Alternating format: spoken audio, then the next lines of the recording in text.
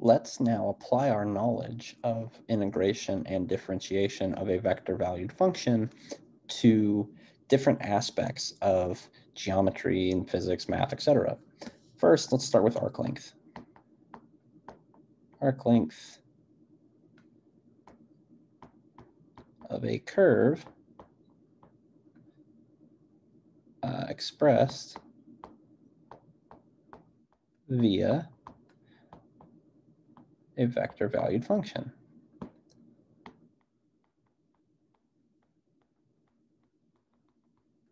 Right? So we have some curve.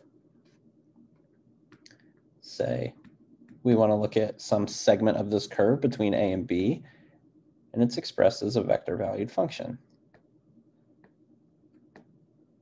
And we want the length of this curve here. How can we compute this? Let's recall arc length in parametric form. Spell arc right here. Arc length in parametric form. Remember we have, so for some curve y equals f of x, we have parametric equations, x equals x of t, y equals y of t. We derived that the arc length given by lowercase s was the integral from a to b of square root x prime of t quantity squared plus y prime of t quantity squared dt. Well, what if we just renamed these things? These parametric equations are just now the functions of our vector value, or they're the components of our vector valued function. So let's say x of t, let's rename u to f of t, and let's rename y of t to g of t. Well, then these are our functions for, uh, or these are our components for a vector valued function. So now in vector value in vector valued function language, the arc length is simply the integral from a to b of f prime of t squared plus g prime of t squared dt, where r in two dimensions, where r of t is the vector f of t i hat plus g of t j hat. Okay, and so these are integrals that we've been doing all semester. You set up the integral for arc length, right? You take a derivative of the x component, you take a derivative of the y component, you square them, you add them up, you take the square root, you take the integral, right? Arc length in 3D is no different. Here, r of t is um, f of t i hat plus g of t g of t um, j hat plus h of t k hat. And so arc length s, arc length, I'll just abbreviate here for speed, arc length s is given by integral from a to b square root f prime of t squared plus g prime of t squared plus h prime of t squared close square root dt. And this is how we compute arc length. One thing we have not done yet, though, is this is how you get arc length between a fixed distance, right? We picked starting parameter uh, or starting value A, ending value B. We plugged in the function. We found the arc length. We can now define what's called an arc length function.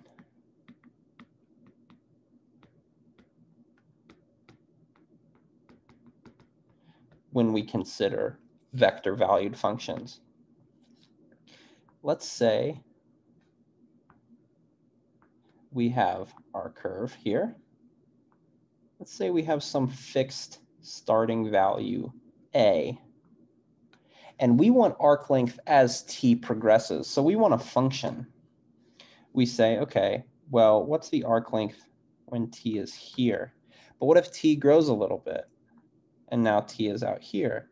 And then t grows a little bit. And this arc length is always changing, right? As t varies, the arc length changes. And so now we're just looking at, okay, let's look at values when t is greater than or equal to a, right? And so as t progresses, the arc length is going to get larger and larger and larger, right? It may get smaller if you consider something like a circle,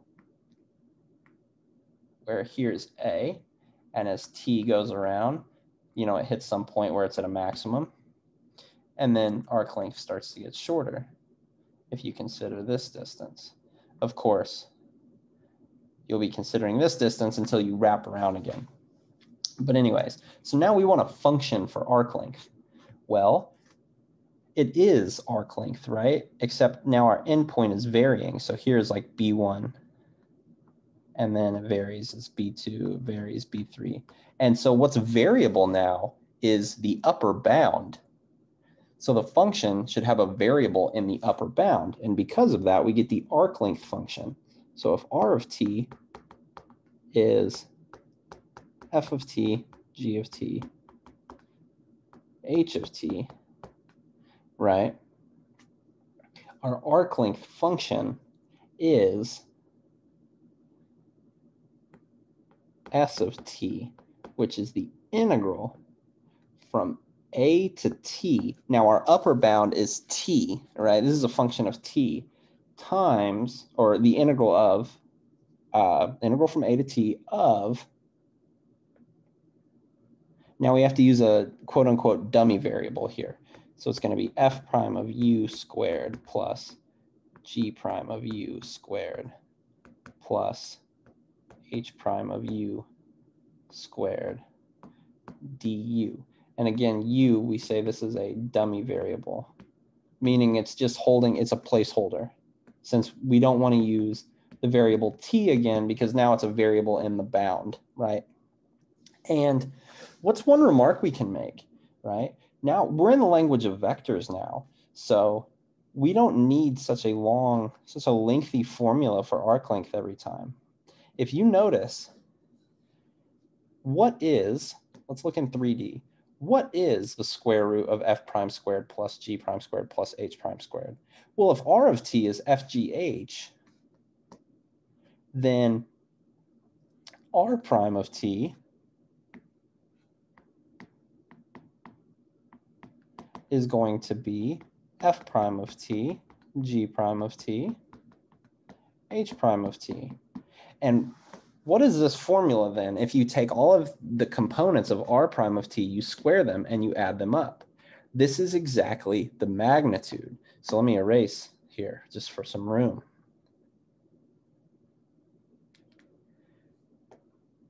In the language of vectors, we have a simpler formula. Arc length is simply the integral from a to b of no longer the square root, but this is just the magnitude of the derivative of r of t.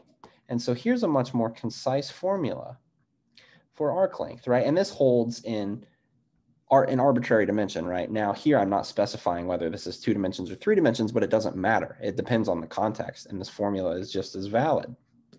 And so um, to, to write our function of arc length in a, in a more concise matter, we can say here now we have our arc length function.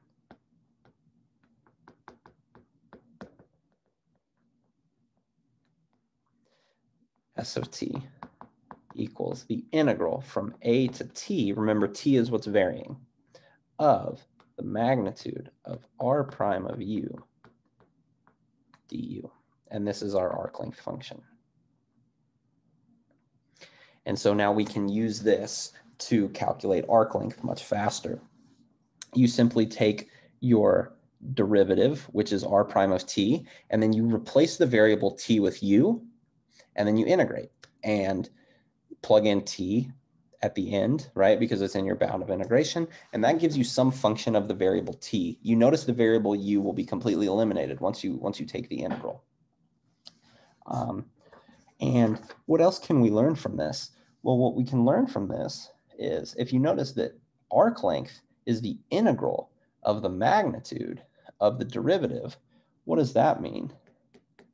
That means, moreover, you know, then differentiating the arc length with respect to t is just the magnitude of r prime of t. You know, informally, you could think about taking the derivative of both sides here. And informally, well, by the fundamental theorem of calculus part two, if you take, so if we take ddt on the left, we have to take ddt on the right. By the fundamental theorem of calculus, this ddt integral from a to t, those quote unquote cancel. And so we also have a formula that says the derivative of arc length is the magnitude of the derivative vector. And so we can use this as well. Now that we've discussed arc length, let's talk about curvature. Curvature is an interesting um, property that can be uh, quantified. So curvature.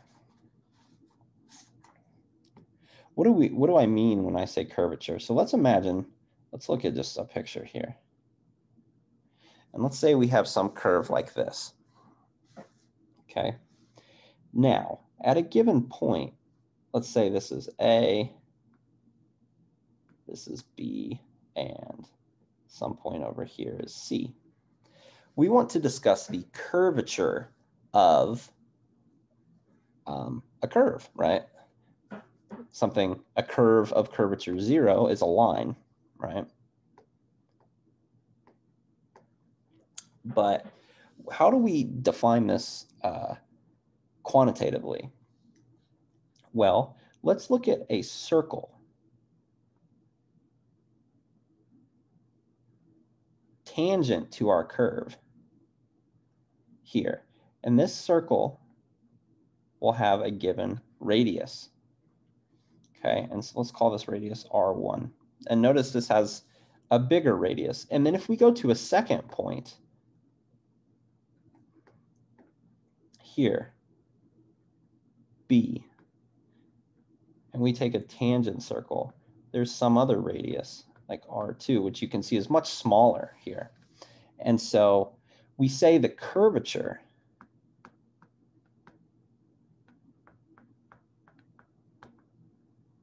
denoted by the Greek letter kappa is greater at B than at A since the radius of this circle tangent to the curve is smaller than the radius at A.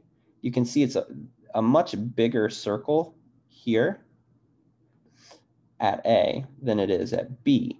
And that's because it's at B, a smaller circle corresponds to a sharper turn in the in the in the curve. So a sharper turn equates greater area, right? And so informally here, kind of intuitively, here's some intuition. Is sharper turn equals greater curvature. Right? Think about a line. There's no turn whatsoever, and the radius for a circle of a flat line is technically infinite, right? You would have to like go infinitely to get a circle. Um, and then you consider something like a parabola, right? This has much more curvature than, than a line because this radius is much smaller than the radius needed to get a circle tangent to a line, right? Um, and then you have something like a sine wave with even more curvature, right? Because you have like these circles in here with relatively small radius because there's uh, there's a lot of sharp turning in um, in a uh, sine wave. So intuitively, this is how we can think about curvature. Now let's um, let's figure out how to calculate it. It's a definition. So let C be a smooth curve given by the function r of s. Now here, we are parameterizing the function by arc length instead of time. We have an arc length function, right? We have, uh, let's just go back here. I'll, I'll explain what I mean, where s is arc length parameter.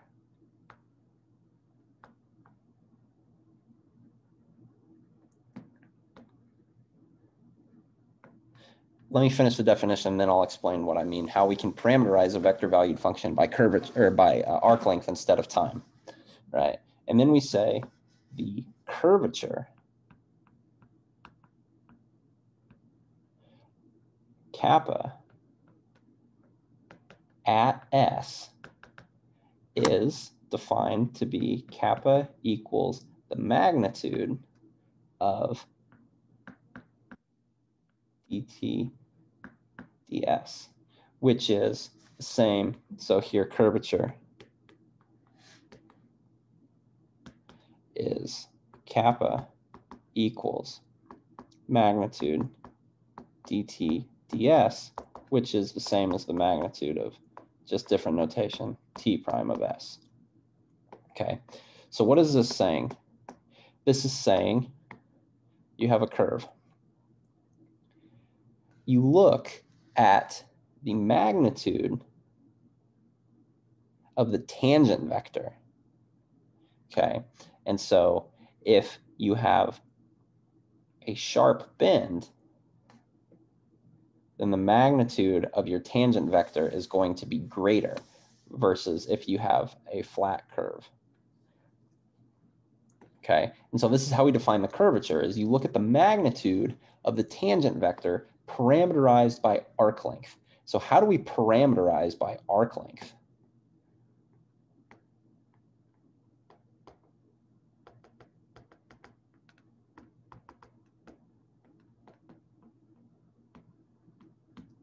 We have S of t is the integral from a to t of magnitude of r prime of u du.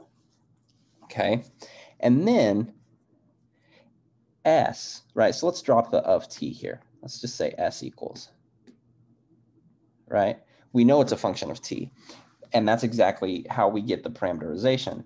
We have S equals, after we compute this integral, we get some function of t, right? This here is a definite integral, and at the end, there are no u's left because you plug in t's everywhere there's a u, right? And so this is some function of t which means we can express t as f inverse of s, right? And so here we can go interchangeably between parameterizing via t or via s. And this is what we mean by saying like we're, we're parameterizing via arc length, right? If you have some parameter t, well, then you just go this way, you plug it into the function here, and then you have some parameter s, right? And so now you can see that s is parameterizing our curve instead of t. And so this is our equation for curvature. It's the magnitude of the tangent vector parameterized by arc length. Okay, and so if you would like this parameterized, by um, time, here's some equivalent formulas.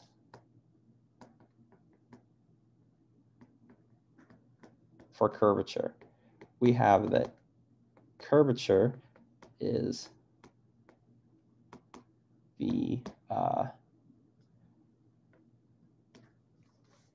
uh, magnitude of t prime of s, well, this is the same as plugging back in for t now. This is the magnitude of t prime of t over r prime of t. And you see you can get that um, from this formula just by uh, a few steps of algebra. What is t prime of t defined to be? Well, if c is three-dimensional, so step from here to here is if c is three-dimensional, then we can write kappa as r prime of t cross r double prime of t magnitude all over magnitude of r prime of t cubed. And so there's relatively simple proofs to go between these equalities. Um, I'll save that as an exercise. Um, and then lastly, curvature in Cartesian coordinates is defined as kappa equals absolute value of y double prime. So like here is just straight up y equals f of x that we're used to, right? This is kappa equals the absolute value of y double prime over 1 plus y prime squared quantity to the 3 halves power. So here's another way to calculate curvature, uh, simply just given y equals f of x, right? And now you can see why a line would have curvature 0 uh, kappa equals zero. Because if y equals mx plus b, well then y prime equals mx, y equals m,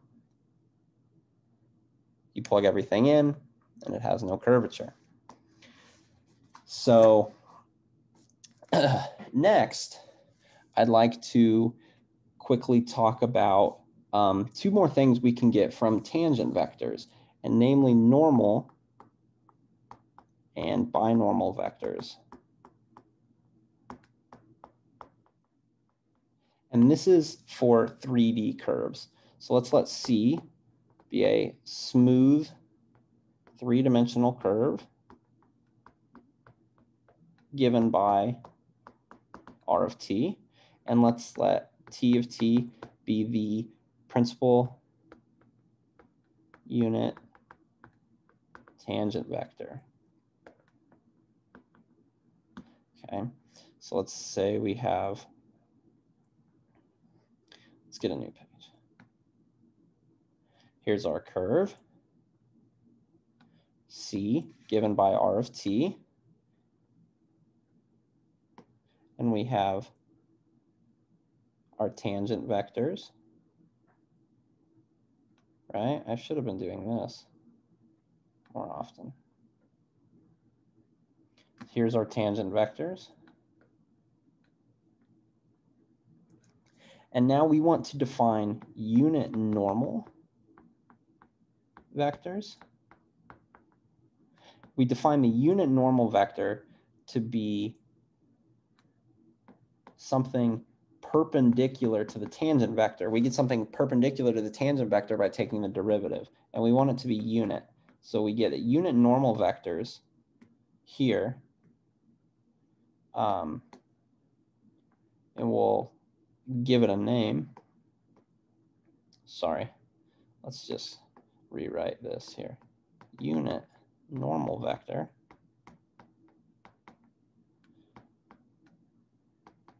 Say capital N of t is defined to be the tangent, the derivative of the tangent vector, which gives you something tangent to the tangent vector. So if you're tangent to the tangent vector, you're normal to the curve, right?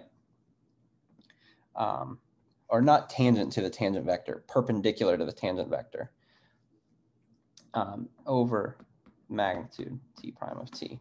And so what is this? This would look like something inward here. So here's t, and here's our normal vector. It's perpendicular to the tangent vector.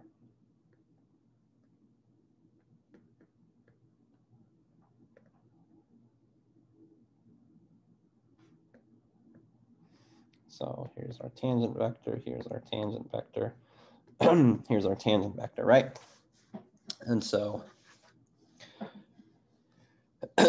cool. And then we need a unit binormal vector.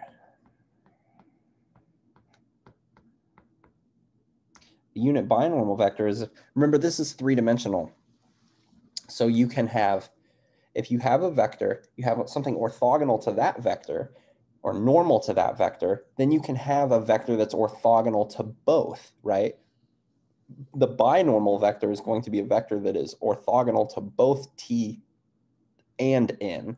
So this is the binormal vector, which is defined to be the cross product of the tangent vector and the unit normal vector. This gets you something that's uh, perpendicular to both n and t, right? And you need a third dimension for this. That's why we can't define binormal vectors um, for a curve in two-dimensional space. And so here is our binormal vector. And so here you can see how you would compute these. And since we're now familiar with um, taking derivatives and magnitudes, hopefully very comfortable by now, we simply just have to um, refer to these formulas when calculating normal and binormal vectors.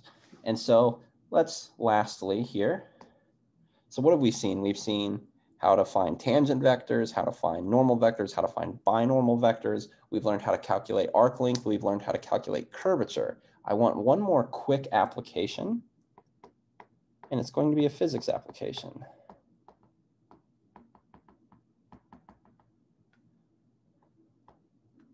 And it's motion. we can apply vector valued functions to a physics setting to better describe uh, motion in space in either two dimension, three dimension, arbitrary dimensional space. So let's let R of t be a twice differentiable, meaning the second, the first and second derivative exist, twice differentiable. Vector valued function. representing position of an object. Okay, and so we have position is given by r of t equals f of t, g of t, h of t. So imagine like a, like a particle in a magnetic field or maybe a little more elementary example would be like to consider a fly buzzing around the room, like in three dimensions, right? Um, it has like relative to some origin, say you pick a spot on the table and that's your origin, right? Well, relative to your origin, this fly has X coordinates, Y coordinates, and Z coordinates. And you can map out the position of this fly using these functions of X, Y, and Z um, parameterized by T. So we get this R of T represents our position right? well, then, if you've taken uh, physics before, you'll know that velocity, if position is a differentiable function, then velocity is the derivative of position. So if we have that position is r of t, then that tells me that velocity is equal to r prime of t. So we can say we can have a vector valued velocity function, v of t, which is r of t prime, which is f prime of t, g prime of t, h prime of t, right? And so we can calculate velocity using vector valued functions. We just need to be able to represent um, the object's position. We can come up with a formula for speed, which is the magnitude or the absolute value of velocity. equals absolute value of velocity.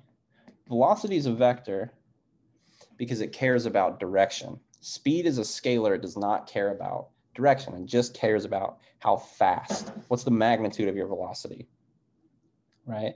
And so speed, we'll call it like sigma of t maybe, is